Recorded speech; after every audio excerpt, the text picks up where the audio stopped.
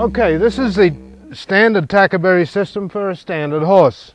The ring in this particular saddle is at three quarters, not seven eighths like a western ring, like a standard western ring or a popular western ring. It's at three quarters where Australians prefer to have them.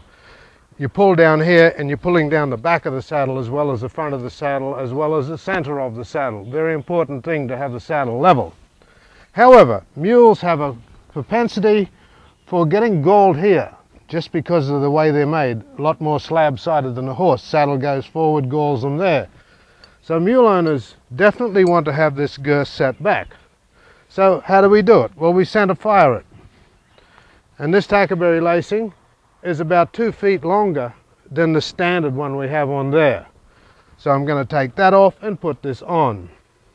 So here we have the longer Tackaberry lacing, which we are going to use for center firing which is real necessary on a mule to get the girth setting back, to get the girth out of those tender folds here that mules have, notorious for having them.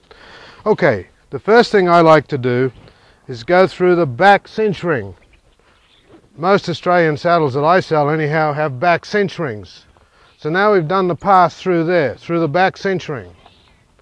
Now you bring it forward and now you go through the top slot of the buckle. There's the top slot. We're going through just like we did before with the standard firing.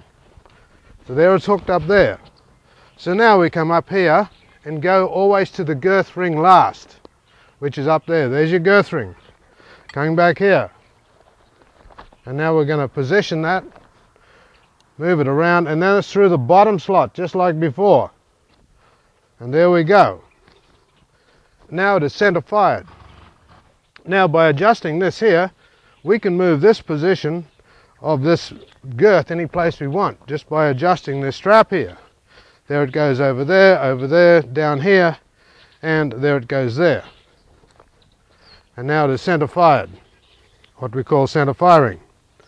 Take up this little bit more here to get the slack up here, through there, through there, and there you have it.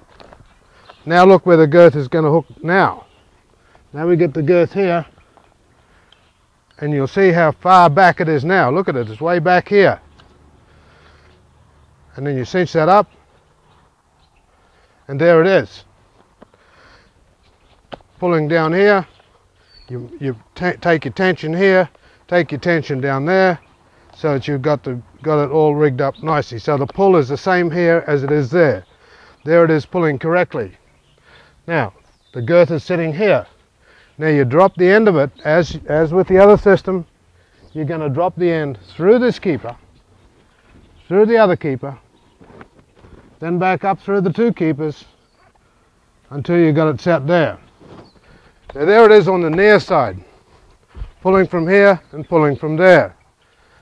You are going to do exactly the same on the off side. No mystery there. And there you have it.